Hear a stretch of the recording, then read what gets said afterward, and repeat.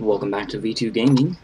My name is Volgraza, and today, this is a video response to LSG's League Combat Ship uh, video. They just released this today, uh, and this is my response to the questions that Aaron has asked.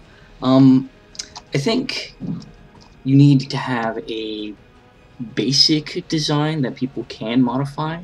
So, let's say for instance this ship here. Let's say if this ship was the um, basic design.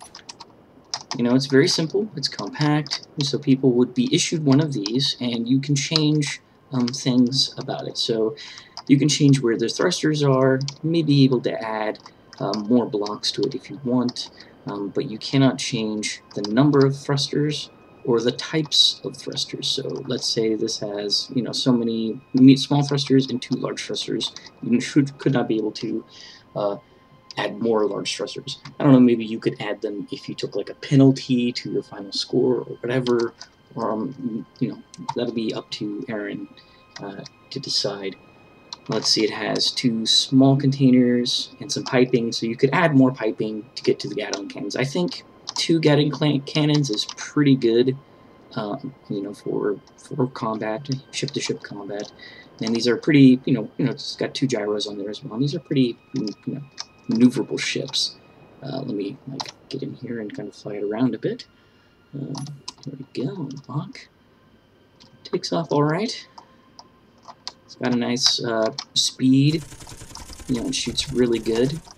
Um, you know, these Gatling cannons do a pretty good, decent amount of damage to uh, light armor, so these are really effective. Uh, missiles just do way too much damage. Uh, let's say, for instance, um, as far as like scoring goes, let's say that uh, this ship.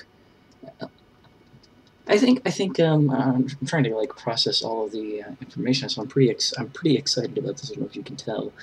the first person to lose their cockpit or run out of ammo. So let's say there's a max cap of like 2,000 units of ammo. You know, that's like 1,000 for each Gatling cannon. That's not terrible. That's pretty good. It's a good amount. And, you know, you get, if you run out, that's it. You're disqualified.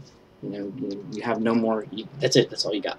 So you got to use it tactically. And you can't just not shoot at the other person and just, like, put all your thrusters facing in the backwards direction and just go really, really fast and out, out, outrun them that is a tactic.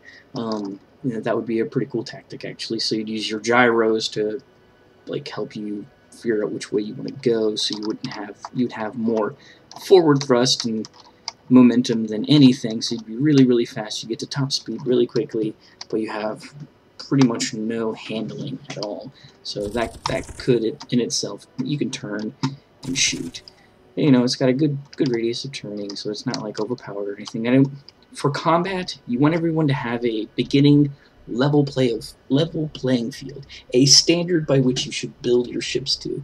And I think I am offering up this ship as to Aaron as the um, standard base ship. Um, I'm going to put this on the workshop, and you, you know, Aaron, if you'd like to, you can go take a look at it. I really like your videos; I think you're really awesome. Um, been watching you for some time, you and Sage, and Tazu as well. Uh, I don't think I've missed an episode of your survival series. Anyway, side tangent and fanboy moment over. Uh, let's see. I also wanted to go over some other uh, particular things. Um, so you can't change how many reactors you have. Uh, almost all the parts have to be pretty much the same. You could probably add more regular blocks. Um, so one reactor, one large reactor, and you can change this, the, the pipettes or the pipes. Um, also, perhaps maybe adding a battery-powered league. Um, that would be pretty nifty. reset my camera here. Mods, I don't know. Uh, I'm kind of on the fence. The fighter cockpit here is really awesome. I think that should be allowed. Also, if you notice here, this cockpit is really shiny. That is also a mod. You know, aesthetic mods, that's probably okay. Uh, but it should probably be very, very limited. So what I have installed is pretty much this cockpit and the shiny cockpit mod. that's it. That's all that's installed on this world. Uh, so you know, mods should be fairly limited. You need a basic, bare bones design from the base game that doesn't, you know, that's not, you know, so that way you can tell, you know, it's fair. You know, that's it's fair. People can, you know, know what the stats are for those particular items and, can plan accordingly. Um, let's see what else here. That's pretty much it. You know, have a battery-powered league, some with solar panels, and you know, that would pretty be pretty be pretty cool. I don't. I, might make a uh, battery-powered version of this, but for now, um, this is just a powered version. So that's it. That is my video response.